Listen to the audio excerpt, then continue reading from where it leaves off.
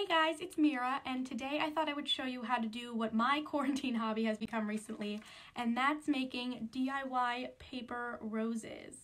They're so beautiful, and they're so much fun to make that I made an entire bucket full of them, which means they're also pretty easy to make.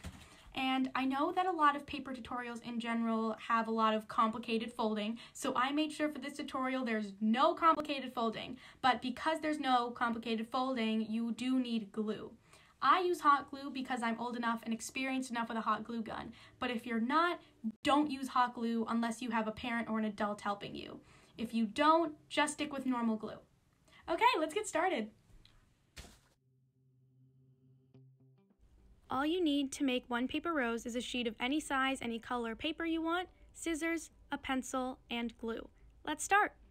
So the first step is to turn your sheet of paper into a square. So if it's not already a square, you're going to want to turn it on its long side, take the corner, and fold it towards the edge. And when this rectangle on the left has a nice straight edge, that's when you're going to want to fold the paper. So as you can see, I'm creasing it, and now I have a triangle and a rectangle on the top. So the triangle that I folded tells us that our paper now has all equal sides and it's a square, so we just need to cut this extra rectangle off.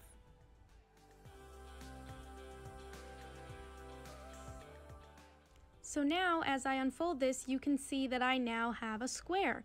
So the next step is to cut the square into four equal sections or four equal squares. So the best way to do this is to fold it in half once, turn it, and then fold it in half again.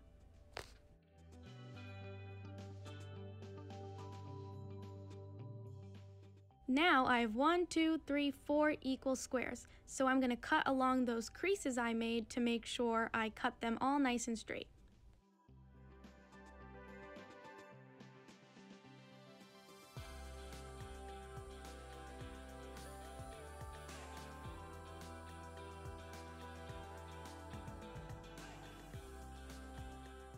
So now we're going to turn these squares into beautiful flower petals. The first thing you're going to want to do is fold it in half into a triangle once, then watch my finger and fold along that line, fold into a triangle again, and then flip, watch my finger, fold it over that imaginary line into a triangle again. So you're folding it in half into a triangle three times. So do that with the three other squares and now you have four triangles. Next step is to cut off the tips of all of these.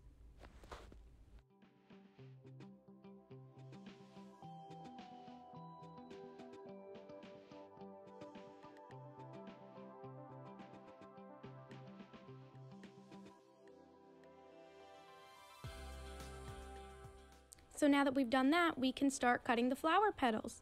So what you're gonna do is take your pencil and you're gonna draw two humps because when we unfold this later, then that will be eight humps because we folded it so many times, the cutting will transfer. So draw your two humps. They don't have to be perfect because you're gonna cut along this line. So if you decide you don't like something, you just don't have to follow the pencil line. So don't worry too much about this. Sometimes I don't even draw the pencil line. So now you're going to cut along your line or just however you want. And then along the way, you can just, you know, choose to cut off certain parts if you don't like the way you drew it. Even I like to round out that edge sometimes because it looks too sharp. And then when you're done, you can unfold it and look, beautiful flower petals. And even in this state, you can chop off some or fix some if you don't like the way it looks. So do that to all four of them, and now you have four flower petals. So what we're going to do now is we're going to take the first one and we're going to cut one petal out of it.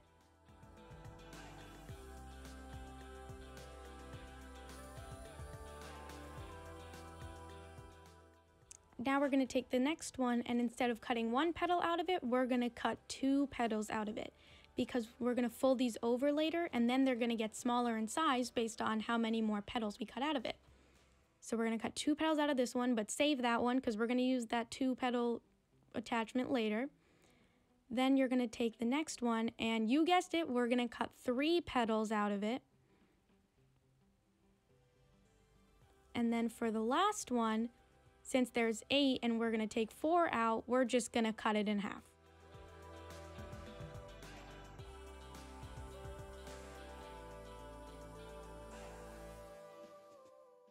So now that we cut an increasing number of petals out of each one, we're going to fold them back over each other and glue them together so they sit like real rose layers. So first what we have to do is since there were so many creases because we folded that triangle so many times, we're going to fold all those creases in so they all fold inwards and they fold in like a circle. So they're all in one direction. And now what we're going to do is since we have two edge petals, we're just going to glue them together. So you're going to put your glue on one of the edge petals and then you're going to take the other one and you're going to fold it over it like that. And then you're going to press down to make sure that glue stays. And then once you've pressed it down and you're sure it's stuck, you're just going to set it aside to dry and do the other ones.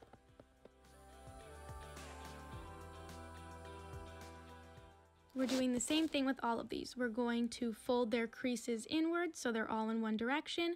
We're going to take the glue, put it on one of the edge petals, and then we're going to fold the other petal over and squish them together.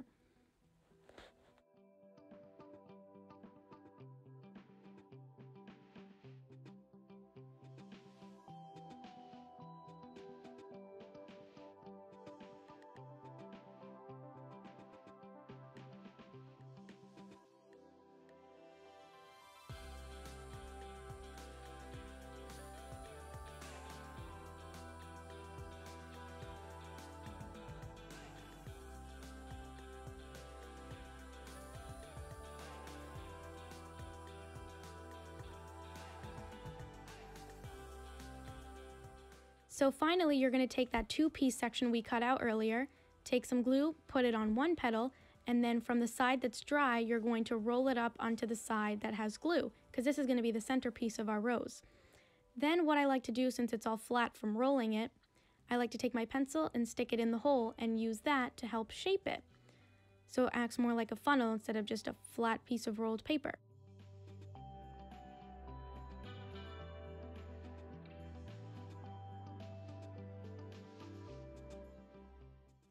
So now that we've made all our pieces, it's time to construct them together to make a rose. So you're going to take the second largest piece, which is the one that you cut two petals out of, squirt some glue on the tip, and we're going to stick that inside the largest piece, which is the one that we cut one petal out of. So once you do that, you're going to insert that right into the tip of the largest piece, and you're going to press down. So I actually usually do this with hot glue, but since I don't want you kids using hot glue and you don't need to use hot glue, I'm going to show you how to do it with glue that maybe doesn't dry so fast and so nicely. So you're going to take a pencil with little or no eraser and you're going to use that to push it down into your mat, which is why I told you to use a mat because I don't want glue getting on your table. Glue is going to squirt through that hole.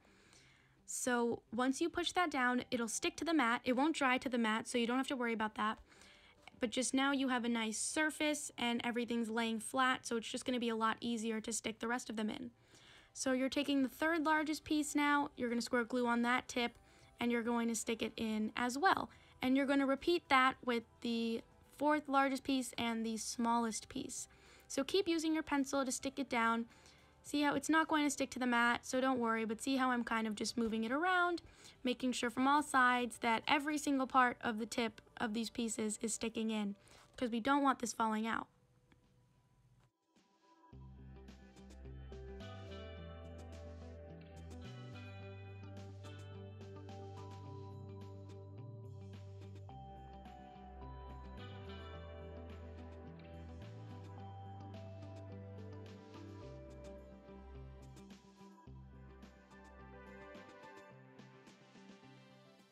So since it's not hot glue, it doesn't dry instantly. So what you're gonna wanna do is alter it, make sure it's the way you want when it's dry. And I just got a toilet paper roll, but you can use a cup and you're gonna wanna lay it in there to dry so it's sitting upright, the tip isn't drying to anything, and none of the pieces will shift around.